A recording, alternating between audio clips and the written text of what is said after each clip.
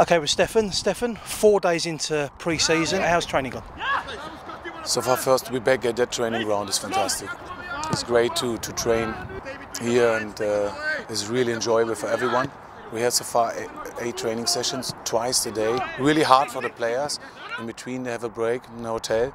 It's like a training camp and everyone works hard and it's really enjoyable. What are you looking for? I mean, it's very early days. Yes. It's a six-week program, really, pre-season. But what are you looking for in the first week?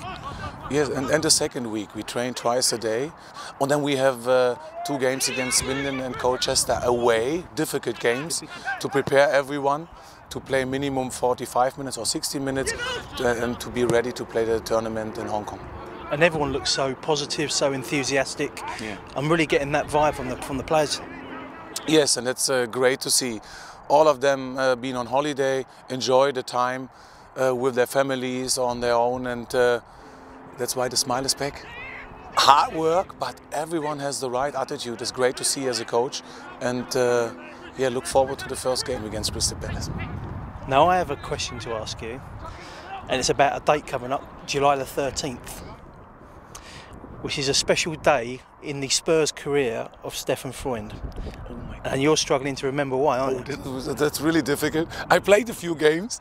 Of course, I was a few times. But something there. happened in this game. 13th of July. Is it maybe Stevenage? maybe. Yeah. No, I remember. Stevenage. Alive, you know. I know. Get there. I yeah. Get there. Oh, what a goal, you know. What a chip, you know. And the only one, you know, for Spurs. Fans had T-shirts made up saying I was there. Yeah, that's uh, okay. That, that, that's enough now, and it's too much.